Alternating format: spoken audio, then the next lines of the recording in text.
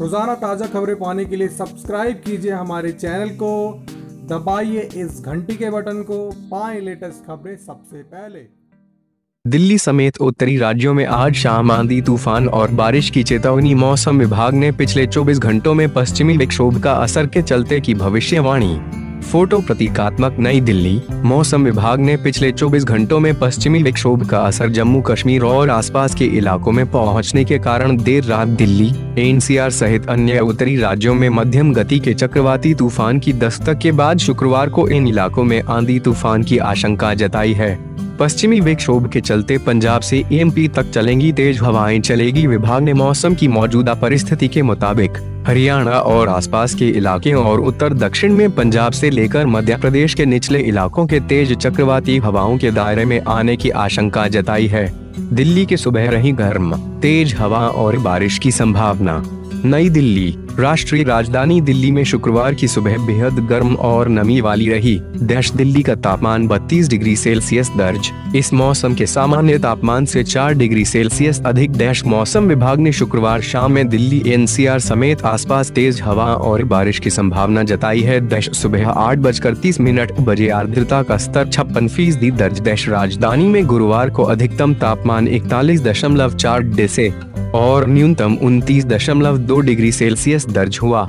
यहाँ अलर्ट जारी अगले 24 घंटों तक जम्मू कश्मीर, हिमाचल प्रदेश, उत्तराखंड, पंजाब, हरियाणा, चंडीगढ़, दिल्ली और पश्चिमी यूपी में तेज हवाओं के साथ आंधी आने की संभावना दश तेज हवाओं और आंधी की स्पीड 50 से 70 किमी प्रति घंटे के बीच हो सकती है। देश उत्तराखंड और हिमाचल प्रदेश के कुछ इलाकों में तेज हवाओं के साथ बारिश हो सकती। देश इसके मद्देनजर विभाग ने स्थानीय प्रशासन को आपदा संबंधी तैयारियाँ रखने का अलर्ट जारी किया है। देश पश्चिमी विक्षोभ का असर पूर्वी और पूर्वोत्तर राज्यों में भी रहने का अनुमान। दश बिहार पश्चिम बंगाल, सिक्किम, मेघालय, नागालैंड, मणिपुर, मिजोरम, त्रिपुरा, तटीय और भीतरी कर्नाटक, तमिलनाडु व केरल के कुछ इलाकों में आंधी तूफ़ान की आशंका दश तमिलनाडु, दक्षिणी कर्नाटक के भीतरी इलाकों और केरल के कुछ भागों में भारी बारिश हो सकती है।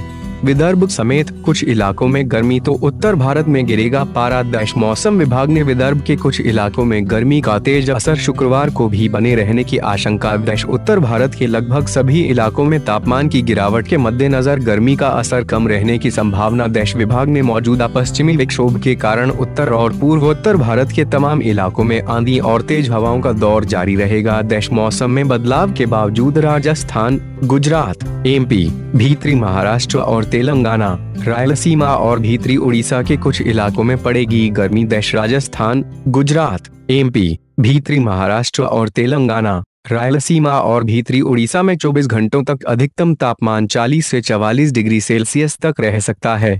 यूपी के 20 ज़िले में आंधी, बारिश की चेतावनी, यूपी की राजधानी लखनऊ सहित राज्य के लगभग 20 जिलों में शुक्रवार को आंधी और बारिश की चेतावनी जारी। देश लखनऊ में तेज बारिश होने से लोगों को गर्मी व उमस से राहत मिली है। देश उप मौसम विभाग के निदेशक जेपी गुप्ता के अनुसार, दिन में बारिश होने की उम्मीद है। देश पूरे सप्ताह तक आंशिक तौर पर बदली छाई रहेगी।